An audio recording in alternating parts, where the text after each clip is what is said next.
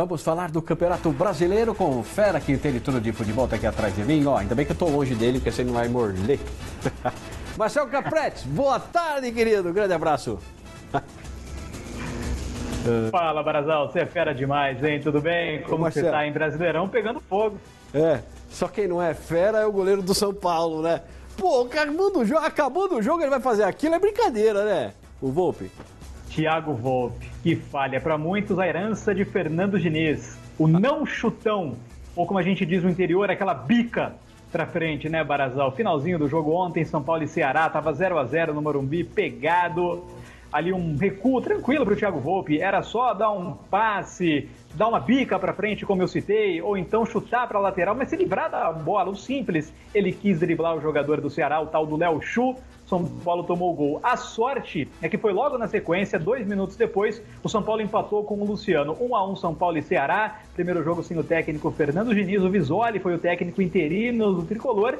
Menos mal, Barazal, pelo menos o São Paulo não perdeu e continua no G4. É verdade, é isso aí. Mas tem que ficar esperto, porque senão nem no G4 vai ficar, hein? O Corinthians empatou com, com o Atlético do Paraná, chamou a atenção, isso não, não costuma acontecer, hein?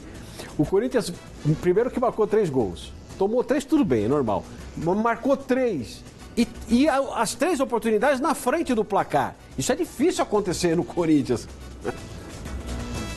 É difícil e não conseguiu segurar a vitória, né? Escapou ali pelo vão dos dedos da equipe corintiana. 3 a 3 um baita jogo. Gustavo Mosquito, hein? Jogou demais. Uma aposta do técnico Wagner Mancini que tem correspondido. O Atlético Paranaense tinha a melhor defesa até então do campeonato. Barazal, o Corinthians conseguiu marcar três gols, mas sofreu três, né? Aí não dá. O empate ficou de bom tamanho para o jogo em si. Foi um baita jogo, um dos melhores do campeonato até aqui. Mas para o corintiano ficou um gosto amargo, porque, como você bem disse, o time ficou três vezes na frente do placar. Também não muda em termos de classificação. Se eu falei que o São Paulo continua no G4, o Corinthians continua na oitava colocação. E pelo desenho que a gente tem hoje no Campeonato Brasileiro, o oitavo colocado vai para a pré-Libertadores.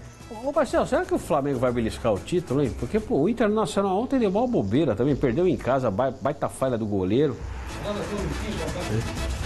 É verdade. O Internacional, ele iria tropeçar. Eram 12 jogos de invencibilidade seria impossível manter essa série até o final do campeonato. Perdeu ontem, o Inter foi derrotado 2 a 1 pelo esporte e agora está em aberto. A gente vai ter o confronto direto Inter e Flamengo, não na próxima, mas na outra rodada, 37 já que faltam só três jogos para Inter e para Flamengo. O Inter só depende de si e o Flamengo também só depende de si para ser campeão. Se eu tivesse que apostar no Barazal, apostaria que o Flamengo vai levar esse título. É, pode ser mesmo, viu? Pode acontecer. Vamos falar de Mundial, de clubes.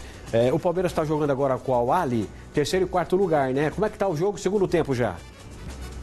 Segundo tempo, no meu monitor aqui, 49 do meu estúdio avançado, Barazal, 9 do segundo tempo, 0 a 0 ao Ali e Palmeiras. Verdão jogando mal, hein? Felipe Melo, titular, Mike na lateral direita, Patrick de Paula, também uma novidade no meio-campo, e três atacantes, né? O torcedor palmeirense tanto pediu, o William Bigode hoje titular, mas o Palmeiras até aqui não joga bem, vai empatando em 0 a 0 e é a típica casca de banana, Barazal. Por quê? Se o Palmeiras ganhar o jogo, não fez mais nada que obrigação. Poxa, foi eliminado na semifinal, era só o que faltava não ficar em terceiro, né? Todo mundo vai falar isso. Agora, se perde, se o Palmeiras perde esse jogo, aí cai o mundo em cima da equipe palmeirense. E daqui a pouquinho, depois dessa partida, três horas, é Barazal. Tem a final do Mundial, infelizmente sem o Palmeiras.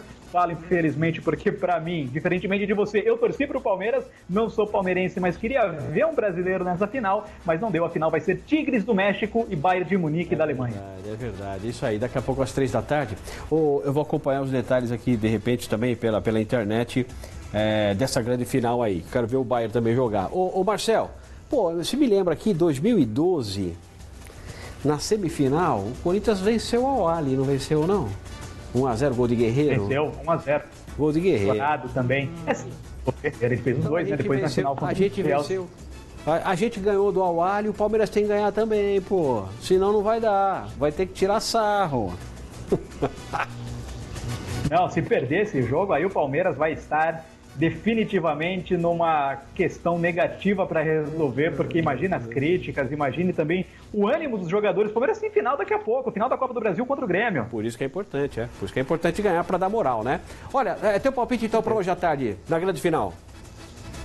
Ah, o Bahia leva, né? O Bahia leva. Para mim vai ser tranquilo, 2 a 0 Eles vão gastar energia suficiente para ganhar o jogo, viu? Como foi na semifinal contra o Awali. Foi 2 a 0 ali, não vai ter espetáculo, nada. Eles vão se poupar para voltar a temporada deles lá na Europa. Então, para mim, vai ser tranquilo, 2 a 0 Bahia. É, vendo o jogo com o Awali, parecia que tava disputando futebol de praia, né? Os caras só de pau, pau, pau, pau, sem forçar muito. É. Ô, ô Marcel, para terminar, me fale do futebol Esporte Show deste sábado.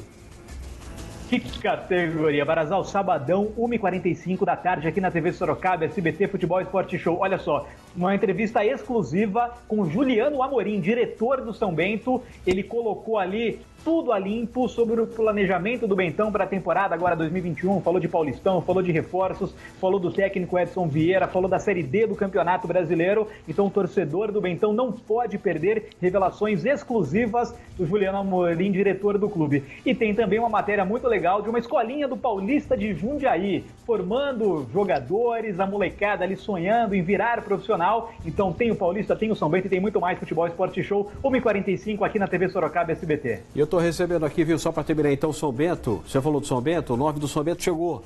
Giovanni Tinga, né? Itinga que chama, né? É, assinou até o final do Paulistão 2000, é, 2021, até a Série A1.